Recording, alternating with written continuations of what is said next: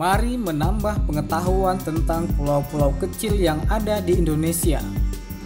Kali ini ke sebuah pulau terluar Indonesia dengan titik terjauh yang langsung berbatasan dengan Laut Andaman dan Kepulauan Nicobar.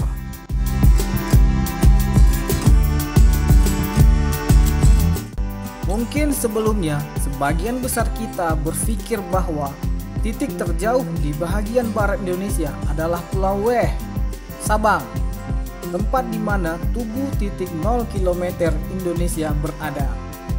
Ternyata, Sabang bukanlah pulau dengan titik 0 km paling terjauh di barat Indonesia. Namun, ada sebuah pulau terluar yang lebih jauh dari Sabang dan berada di Laut Andaman. Lalu, apa nama pulau paling terluar Indonesia di Laut Andaman itu? Mari kita simak.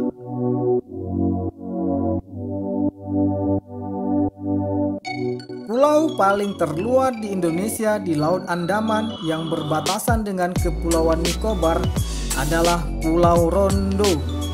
Warga Sabang menyebutnya dengan Pulau Tempurung. Luasnya sekitar 43 hektar. Pulau ini berada di utara Pulau W, berjarak sekitar 30 km dari lepas pantai Sabang. Pulau ini tidak berpenghuni dan hanya ada beberapa pos pengamanan yang dijaga oleh aparat TNI atau marinir dan menara mercusuar.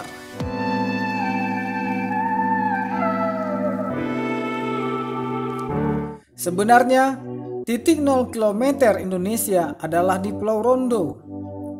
Tugu 0 km di Pulau Rondo masih kokoh tegak berdiri di tengah pulau tersebut. Namun, karena sulit untuk mencapai Pulau Rondo, maka titik 0 km pun dipindah ke Sabang.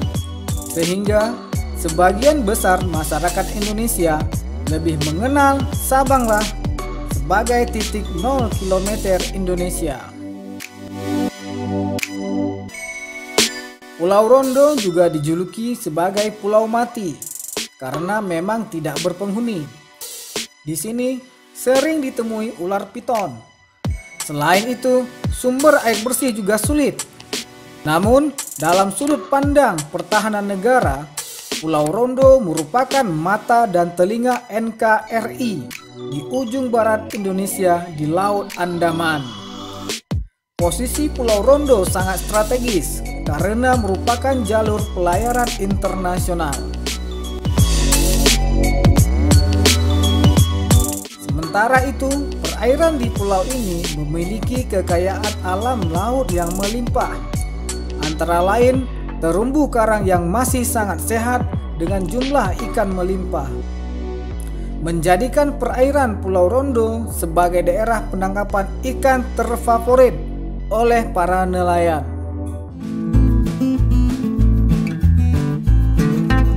Untuk mencapai Pulau Rondo, dapat ditempuh dengan bot dari Sabang dengan waktu tempuh sekitar 2 jam.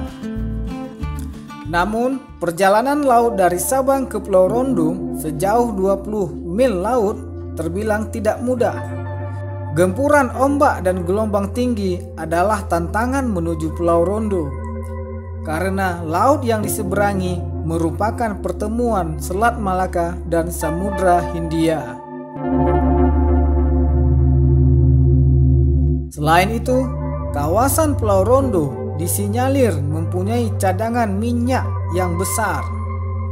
Membuat Pulau Rondo menjadi tetap menarik walau jarang dikunjungi oleh orang-orang.